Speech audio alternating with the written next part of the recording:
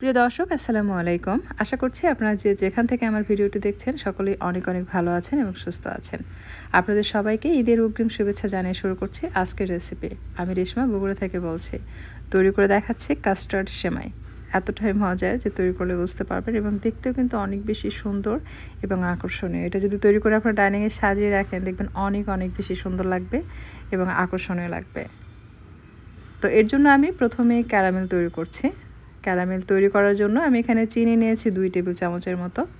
আপনারা চাইলে ক্যারামেল তৈরি করা ছাড়াও কিন্তু এটা তৈরি করে নিতে পারবেন। চিনিটা গলে গেলে দিয়ে দিচ্ছি তরল দুধ, এখানে দুধ রয়েছে দুই কাপ। সরি, দুই কাপ না, তিন কাপ দুধ দিয়ে দিচ্ছে। দুধটা কিন্তু আমি আগে থেকে জাল করে নিয়েছি। দেখতে পাচ্ছেন দেয়া মাত্র বলক চলে এসছে। তার মানে কাঁচা দুধ সরাসরি না দিয়ে যদি আপনি আগে থেকে একটু জাল করে নেন, তাহলে কিন্তু দুধটা একটু ঘন হয়ে আসে। এতে করে সেমাইয়ের টেস্টটা অনেক ভালো আসে।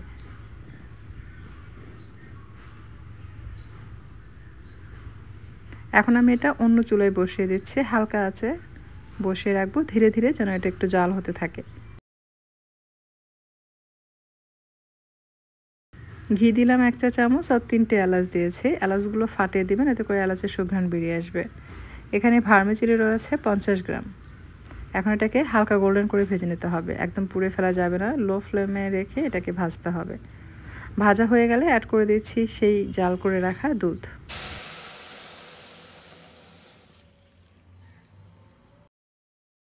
এখন দিয়ে দিচ্ছি গুঁড়া দুধ।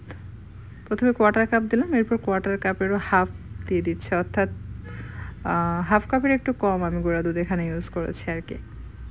ওয়ান থার্ড কাপ দিলেও হবে।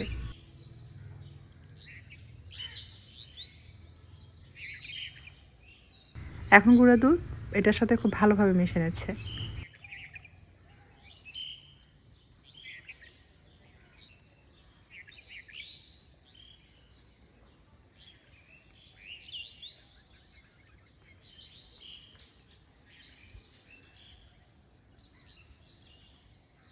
দিয়ে দিচ্ছে কনডেন্স মিল্ক যে যেমন মিষ্টি খেতে পছন্দ করেন, সেটা বুঝে কনডেন্সড মিল্ক অ্যাড করবেন। এটা দিলে কিন্তু বেশি ভালো লাগে। এটা অনেক ক্রিমি হয় রিচ হয়। তো আপনারা চেষ্টা করবেন কনডেন্স মিল্ক দিয়ে এটা তৈরি করে নেওয়ার জন্য। তবে আপনারা চাইলে এটা চিনি দিয়েও রান্না করতে পারবেন।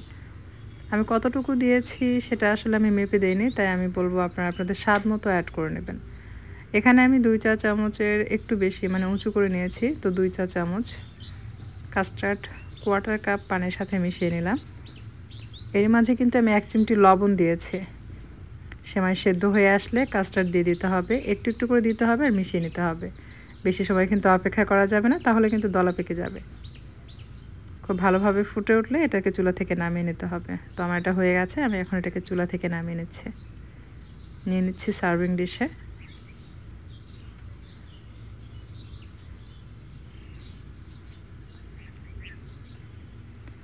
এটা সার্ভিং ডিশে রাখার পর ফ্রিজে রেখে দিবেন, সেট হওয়ার জন্য। ঠান্ডা হলে তারপর আপনারা সব ধরনের ফলমূল দিয়ে পরিবেশন করবেন।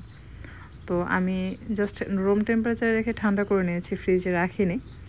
আমি দিয়ে দিলাম আনার আঙ্গুর। আপনারা চাইলে কালো আঙ্গুর দিতে পারেন, দেখতে এতে করে আরও বেশি সুন্দর লাগবে।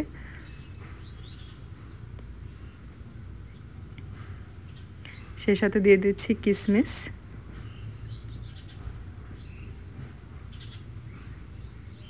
আর দিয়ে দিচ্ছি পাকা আম।